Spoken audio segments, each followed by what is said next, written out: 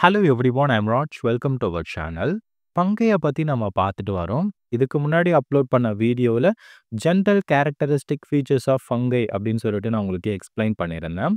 பங்கைக்குன்னு ஒரு சில characteristic features வந்து இருக்குது அதெல்லாம் என்னென்ன அப்படின்றது உங்களுக்கு தெரிஞ்சிருக்கும். அந்த வீடியோக்கான லிங்க்கை டிஸ்கிரிப்ஷனில் கொடுத்துருக்கேன். போயிட்டு செக் பண்ணி பாருங்கள் இன்றைக்கி நம்ம இந்த வீடியோவில் அடுத்ததாக பார்க்கக்கூடியது contribution of Indian mycologist Indian mycologist அப்படின்னு வரும்போது நமக்கு ஒரே ஒரு சயின்டிஸ்ட்டை பற்றி தான் கொடுத்துருக்காங்க. C V Subramanian. சரி சிவி சுப்பிரமணியன் யார்? முதல்ல அவரை பற்றி நம்ம தெரிஞ்சுக்கணும். அடுத்ததா மைக்காலஜி ரிலேட்டடாக அவருடைய கான்ட்ரிபியூஷன் என்ன அப்படின்றதையும் நம்ம மெயினாக வந்து இன்னைக்கு இந்த டாப்பிக்கில் வந்து நம்ம தெரிஞ்சுக்க போகிறோம் வாங்க என்ன அப்படின்றத பார்க்கலாம். Contribution of Indian mycologist mycologist அப்படின்னா கண்டிப்பாக என்ன அப்படின்றது உங்களுக்கு தெரிஞ்சிருக்கும். எந்த சயின்டிஸ்ட் வந்து ஃபங்கையை பற்றி ஸ்டடி பண்ணுறாங்களோ ஃபங்கையை பற்றி ஸ்டடி பண்ணக்கூடிய அந்த சயின்டிஸ்ட்டை நம்ம மைக்காலஜிஸ்ட் அப்படின்னு சொல்லலாம். இந்தியன் மைக்காலஜிஸ்ட் அப்படின்னு வரும்போது இந்தியாவில் எந்த சயின்டிஸ்ட் வந்து ஃபங்கையை பற்றி மெயினாக வந்து ஸ்டடி பண்ணாங்க? ஸோ நிறைய கான்ட்ரிபியூஷனை வந்து கொடுத்துருக்காங்க அப்படின்னு பார்க்கும்போது அதில் ஒரு ஒன் ஆஃப் த முக்கியமான சயின்டிஸ்ட் வந்து சிவி சுப்பிரமணியன். அவரை பற்றி தான் நம்ம இன்னைக்கு மெயினாக இந்த வீடியோவில் டிஸ்கஸ் பண்ண போகிறோம் சரிங்களா? அதுக்கு முன்னாடி ஒரு சின்ன ஒரு விஷயங்கள் கொடுத்துருக்காங்க. அதை நம்ம பார்க்கலாம். எல்டி கா சிஓஎல் கிரிட்டிக்கர் இந்த எல்டி சிஓஎல் அப்படின்றதுக்கான அர்த்தம் என்ன அப்படின்னா லெப்டினன்ட் கர்னல் அப்படின்னு அர்த்தம். ஆர்மி ஆஃபீஸருக்கு கொடுக்கக்கூடிய ஒரு ரேங்க் அதுதான் ஷார்ட் ஃபார்மில் அந்த லெப்டினன்ட் கர்னல் அப்படின்றது தான் ஷார்ட் ஃபார்மில் எல்டி சிஓஎல் அப்படின்னு கொடுத்துருக்காங்க. Lieutenant colonel Kirtikar is the first person to have taken up study of fleshy fungi in eighteen eighty five முதல் முதல்ல இந்தியாவில் வந்து இந்த லெஃப்டினன்ட் கர்னல் கிரிட்டிகர் அப்படின்றவர் தான் ஃபங்கையை பற்றி ஸ்டடி பண்ணுறாரு குறிப்பாக வந்து ஃப்ளஷியாக இருக்கக்கூடிய ஃபங்கை நல்லா பெருசாக ஃப்ளஷியாக இருக்கு இல்லையா? அந்த ஃபங்கையை வந்து ஸ்டடி பண்ணுறாரு this makes the beginning of Indian initiative in mycology so இதுதான் வந்து ஃபஸ்ட்டு பர்சன் வந்து இந்தியாவில் ஃபங்கையை பற்றி ரிசர்ச் பண்ணுறவர் லெஃப்டினன்ட் கர்னல் கிரிட்டிகர் ஆயிரத்தி எட்நூற்றி எண்பத்தி அஞ்சில். அதுக்கப்புறம் எட்வின் ஜான் பட்லர் இஜே பட்லர் அப்படின்னு நம்ம வந்து சொல்லலாம். அவருடைய ஃபுல் நேம் வந்து Edwin John Butler regarded as the father of Indian mycology இதுக்கு முன்னாடியே நான் உங்களுக்கு சொல்லியிருந்தேன். ஃபாதர் ஆஃப் இந்தியன் மைக்காலஜி யார்? Edwin John Butler to initiate and organise mycological and phytopathological research in India for the first time அப்போ இவர் தான் என்ன பண்ண இவர் ஒரு ஃபாரினர் தான் பட் இந்தியாவில் வந்து என்ன பண்ணுறாரு அப்படின்னா மைக்காலஜிக்கல் ரிலேட்டடாக நிறைய ஒர்க் பண்ணுறாரு அண்ட் மைக்காலஜிக்கல் அண்ட் பே பைட்டோபேத்தாலஜிக்கல் ரிசர்ச்சை வந்து இந்தியாவில் இவர் தான் வந்து ஸ்டார்ட் பண்ணுறாரு மைக்காலஜிக்கல்னால் என்ன தெரியும்? ஃபங்கையை பற்றி ஸ்டடி பண்ணுறது பைட்டோ பேத்தாலஜிக்கல் அப்படின்னா என்ன அர்த்தம்னா பைட்டோ அப்படின்னாலே பிளான்ட் அப்படின்னு அர்த்தம். பேத்தாலஜிக்கல் அப்படின்னா டிசீஸ் பிளான்ட்டுக்கு வரக்கூடிய டிசீஸை வந்து ஸ்டடி பண்ணுறது ஸோ அதை வந்து ஃபஸ்ட்டு டைம் இந்தியாவில் வந்து ஸ்டார்ட் பண்ணது எட்வின் ஜான் பட்லர் இஜே பட்லர் அப்படின்னு சொல்லலாம். இவர் அதனால தான் நம்ம ஃபாதர் ஆஃப் இந்தியன் மைக்காலஜி அப்படின்னு சொல்கிறோம் சரிங்களா? அடுத்து வரும்போது நமக்கு கொடுத்துருக்கக்கூடிய சிலபஸில் contribution of renowned Indian mycologist முக்கியமான ஒரு இந்தியன் மைக்காலஜிஸ்ட் யாருன்னா வி சுப்பிரமணியன் சரி யார் இந்த சிவி சுப்பிரமணியன்? இவர் மைக்காலஜியில் என்ன மாதிரியான கான்ட்ரிபியூஷனை வந்து பண்ணியிருக்காரு அப்படின்றது தான் இந்த வீடியோவில் நம்ம பார்க்க போகிறோம் இங்கே இமேஜில் இருக்கார்லே இவர் தான் சிவி சுப்பிரமணியன். சரி வாங்க அவரை பற்றி நம்ம தெரிஞ்சுக்கலாம். C V Subramanian. ஒரு முக்கியமான மைக்காலஜிஸ்ட் அப்படின்னு சொல்லலாம். அவருடைய பயோகிராஃபி முதல்ல அவரை பற்றி ஒரு சில பேசிக்கான விஷயங்களை நம்ம தெரிஞ்சுக்கணும். TV Subramanian was born at Kochi in Ernakulam district Kerala கேரளாவில் எர்ணாகுளம் டிஸ்ட்ரிக்டில் அவர் வந்து பிறந்திருக்காரு. He completed schooling at Sri Ramavarma high school அதே எர்ணாகுளம் டிஸ்ட்ரிக்டில் இருக்கக்கூடிய ஒரு கவர்மெண்ட் ஸ்கூல் தான். அங்கே தான் அவருடைய ஸ்கூலிங் எல்லாமே வந்து முடிக்கிறாரு. அதுக்கு அடுத்தபடியாக in nineteen forty one graduated BSc from Presidency College Chennai சென்னையில் இருக்கக்கூடிய பிரசிடென்சி காலேஜ் ஸ்டில் வந்து இருக்கும் அங்கே தான் அவருடைய யூஜி டிகிரியை வந்து முடிக்கிறாரு.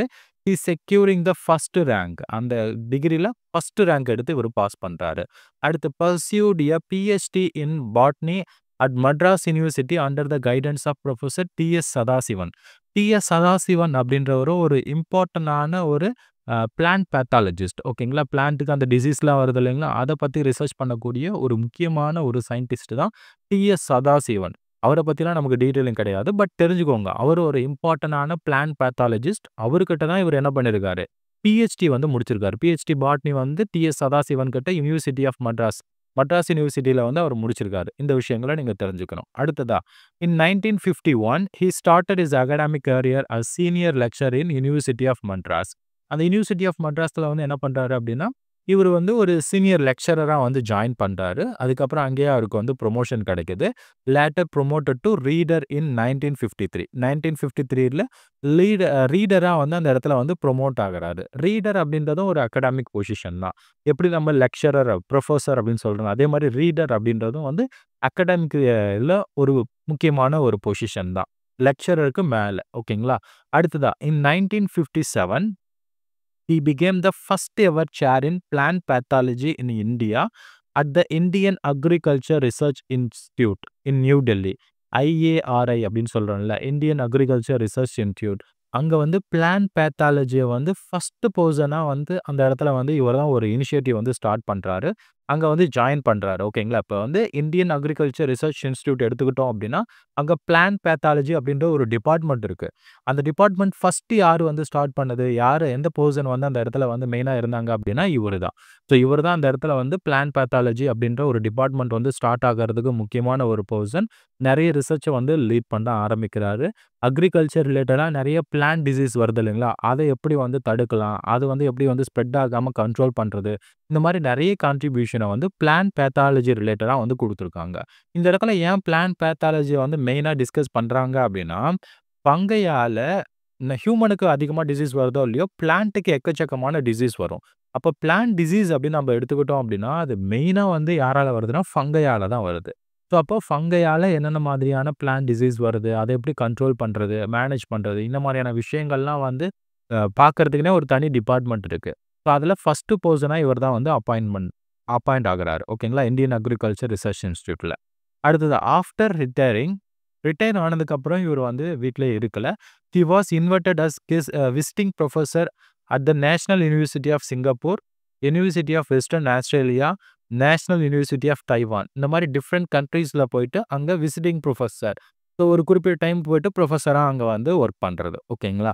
ஸோ ஏதாவது முக்கியமான லெக்சர்ஸ் வந்து எடுக்கிறதுக்கு கூப்பிடுவாங்க. ஸோ இந்த மாதிரி விசிட்டிங் ப்ரொஃபஸராக இந்த மாதிரியான யூனிவர்சிட்டிஸில் இவர் வந்து ஒர்க் பண்ணியிருக்காரு. ஓகேங்களா?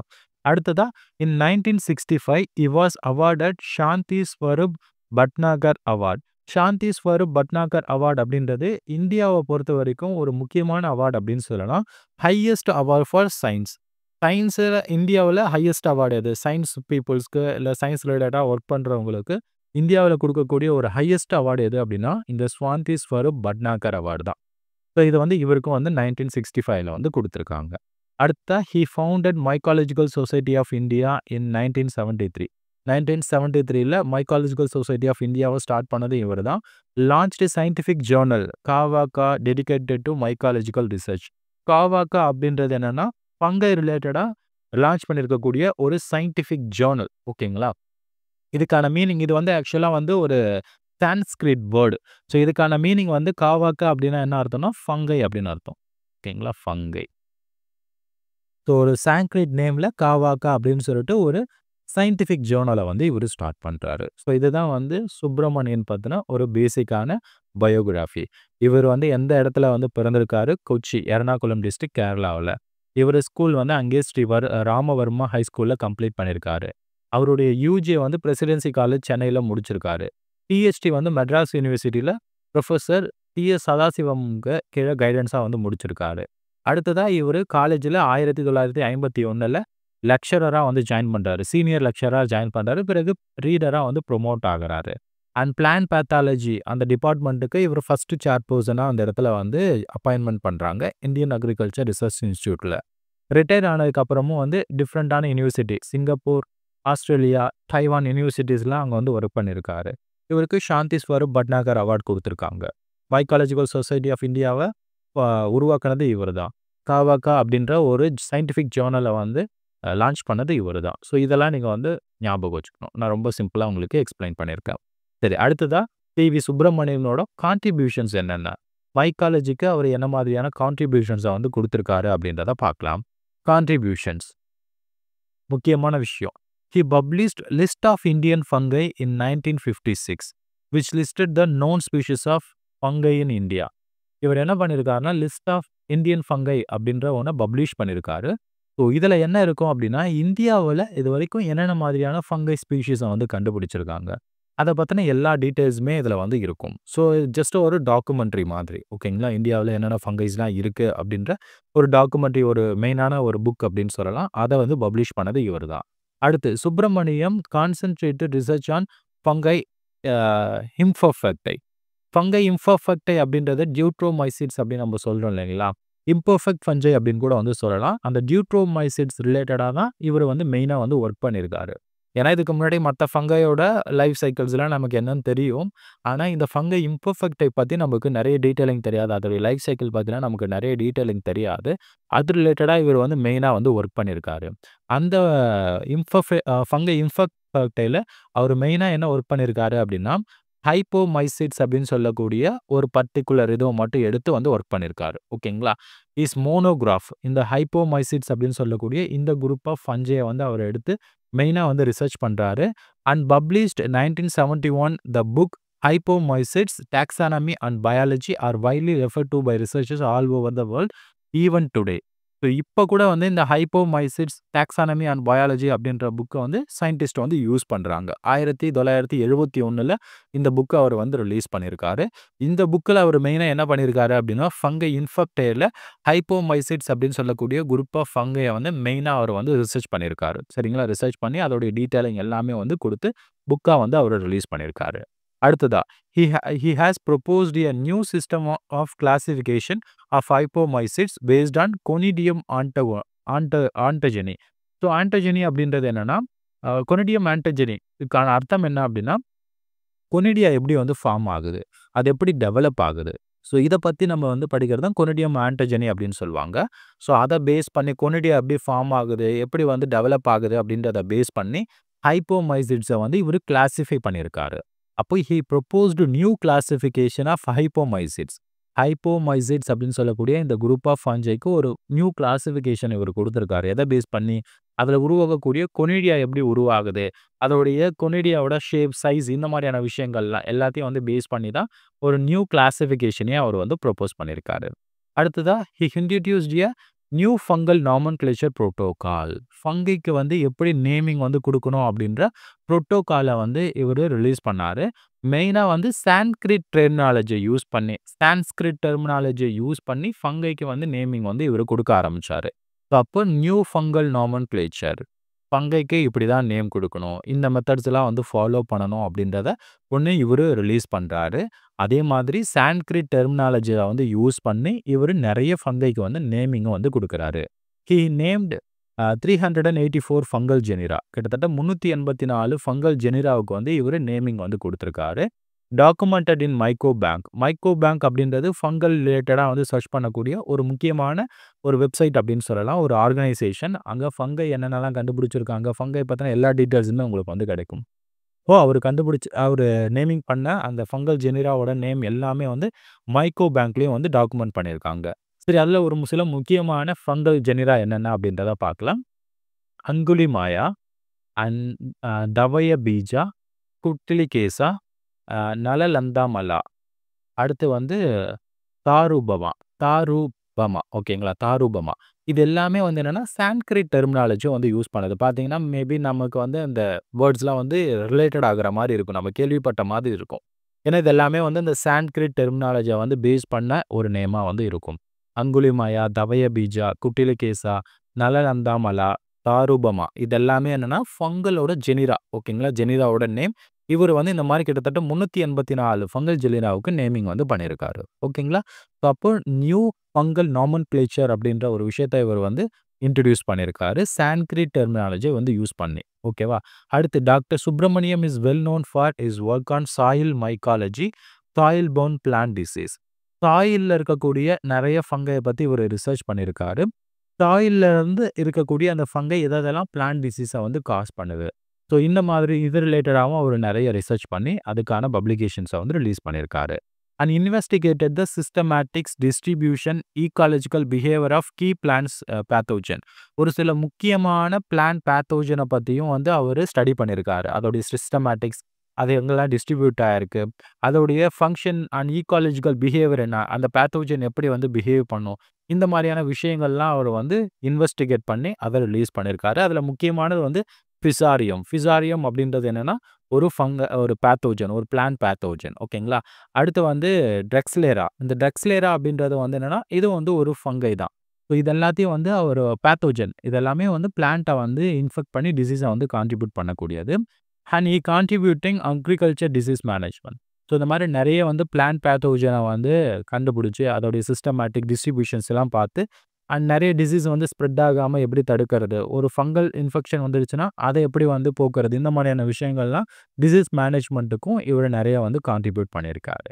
ஸோ இதுதான் வந்து சுப்ரமணியமோட முக்கியமான வந்து கான்ட்ரிபியூஷன்ஸ் ஓகேங்களா? அப்ப சுப்ரமணியமோட கான்ட்ரிபியூஷன் ஆடும்போது நீங்க முக்கியமா ஞாபகம் வச்சுக்க வேண்டியது என்னன்னா, லிஸ்ட் ஆஃப் இந்தியன் ஃபங்கை அப்படின்ற புக்க வந்து இவரு ரிலீஸ் பண்ணியிருக்காரு.